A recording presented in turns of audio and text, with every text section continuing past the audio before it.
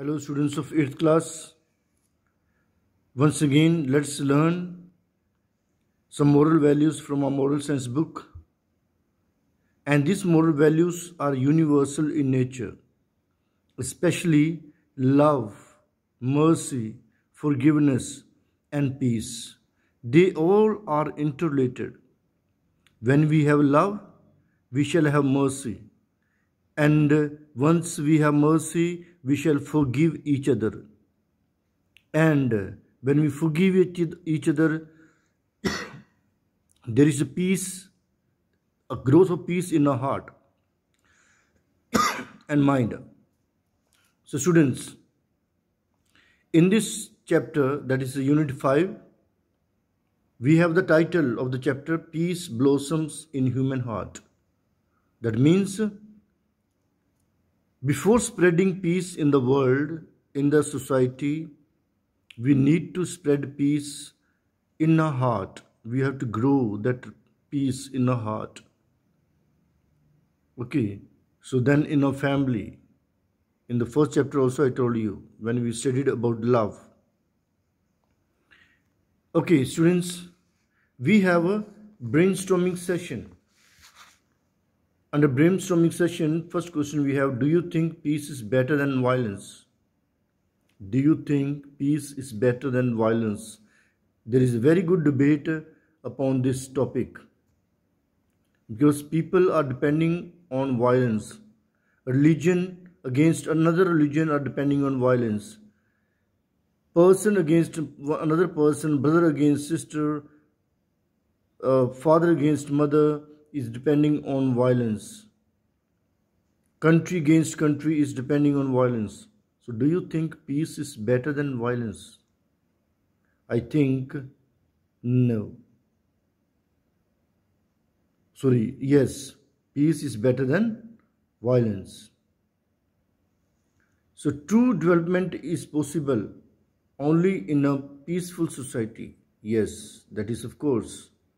When any of the government is not a secular, support only one religion and the other religions are denied, there is less of development in the country.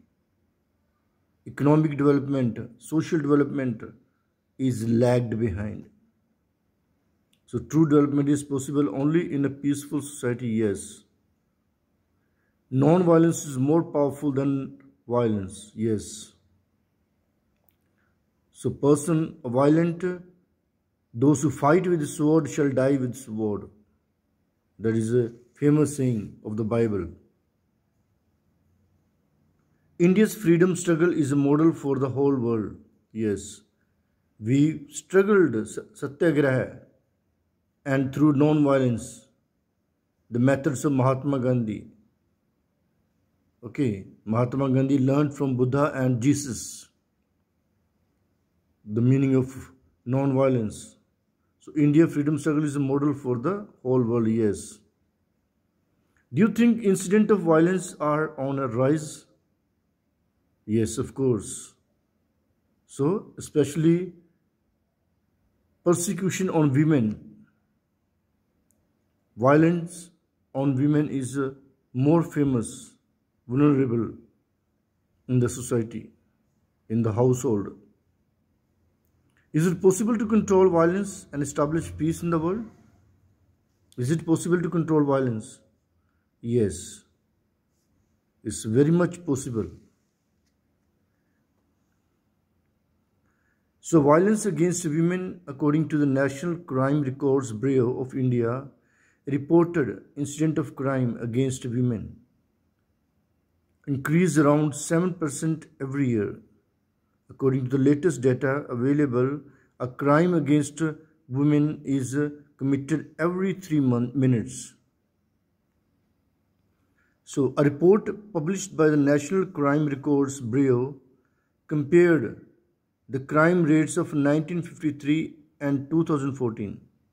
The report noted that burglary, theft, burglary means theft, stealing, declined by 79.84%, but murder has increased by 7.39 and kidnapping has increased by 47.80%. So, burglary is theft. So, people have gone away from that. They have thought that it is useless. But violence has become more venerable or famous in the society. It's found in the society. From the very family, from the very mohalla or from the very society, the violence are found. Kidnapping, raping, murdering. Okay, even for a small piece of rupees, 50 rupees, 100 rupees, the person is murdered. What is peace? We understand the importance of peace only we face violence, wars and conflicts. Yes, who is hungry? Who doesn't have food to eat?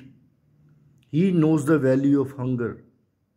So at the, in the same way, importance of peace is known only where when we face violence, wars and conflicts. It compels us to dream about a world where there are no tensions between people, regions or country. This is known as a international brotherhood. That means all considered beyond their boundaries, all considered the people of the world as brothers and sisters. Peace is not just the absence of war or violence.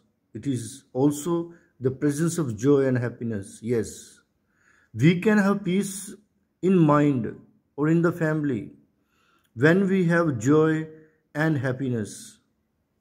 So that you have learned in seventh class also how we can get happiness.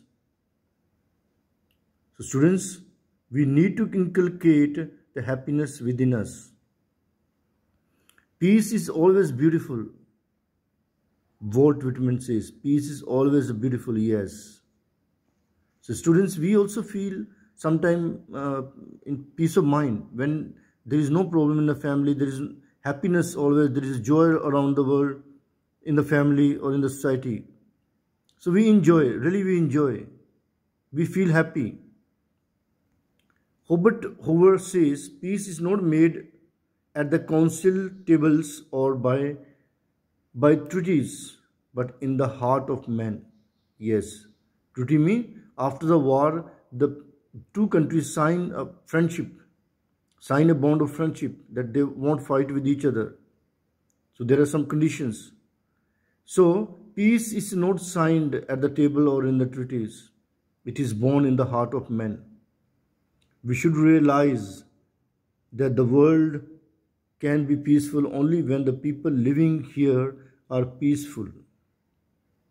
The violence in the world is an expression of inner conflicts of human heart.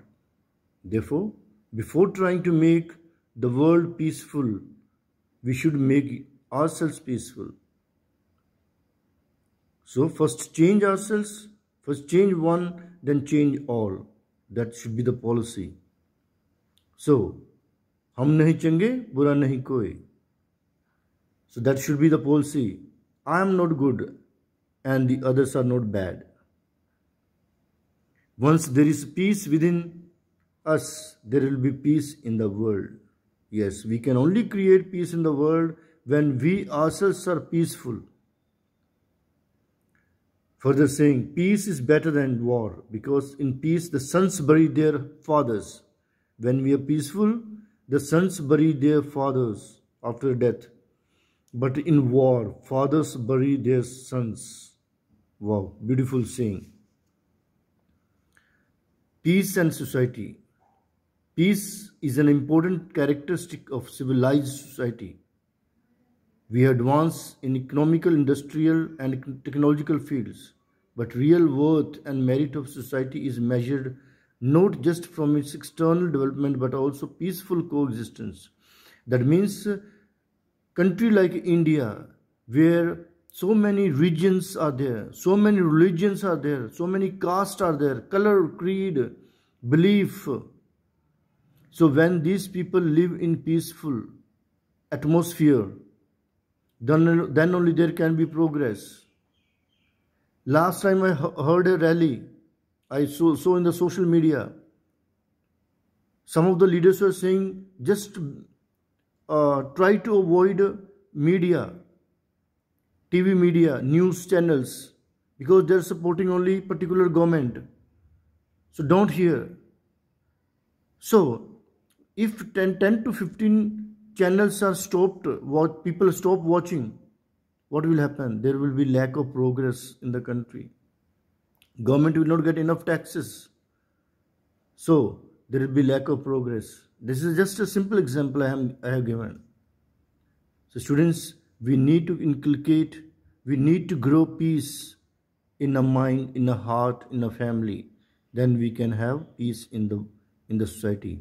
In this part, we shall have only this much. In the next part, we shall have a story. It's a beautiful story. That is a peace lovers against war lovers. Okay, students. So we shall do that one. Till the time, bye bye.